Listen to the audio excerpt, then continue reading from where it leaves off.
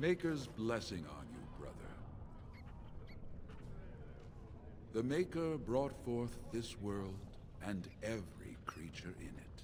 He chose a human woman as his prophet and bride, but he loves all races.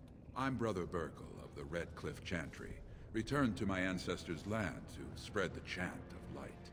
Even in the very bowels of the earth, we hear no end of this chant. And that is something to rejoice in, good sister. I'm petitioning to open a chantry in Orzammar. There is resistance. It's obvious the world wasn't created by the mortal souls who dwelt within it. Yet the dwarves of Orzammar persist in worshipping their own forefathers.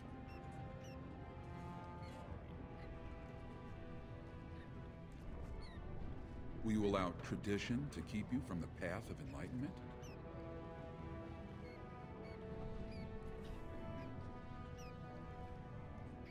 Andraste revealed the truth. The Maker took her up to live at his right hand and... No, never mind. It's clear you strayed too far to be brought back with a single conversation. Maker's blessing on you, sister. Ah, it's a great pleasure to meet a fellow believer. I'm Brother Burkel of the Redcliffe Chantry, returned to my ancestors' land to spread the chant of light. Even in the very bowels of the earth, we hear no end of this chant. And that is something to rejoice in, good sister. I'm petitioning to open a chantry in Orzammar. There is resistance. It's obvious the world wasn't created by the mortal souls who dwelt within it. Yet the dwarves of Orzammar persist in worshipping their own forefathers.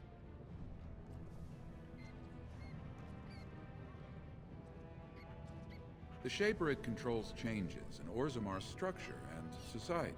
I need the Shaper of Memory's permission to open a prayer meeting. The Shaper of Memories controls the shaper Shaperate, Orzammar's record system.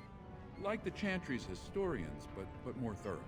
They track the births and lineage of every dwarf born in the city, every property sale, death in battle, marriage, or divorce.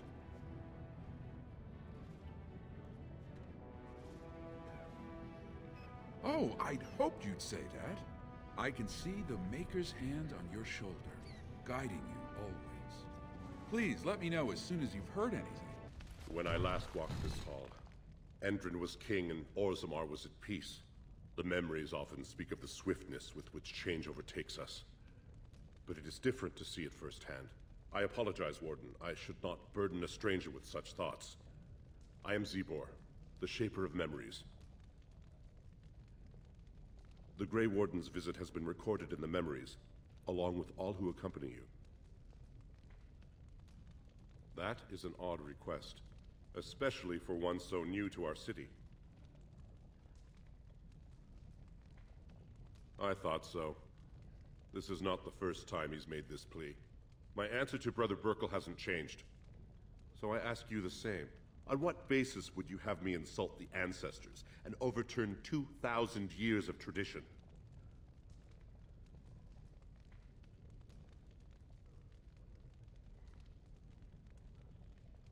What sort of charities do you mean?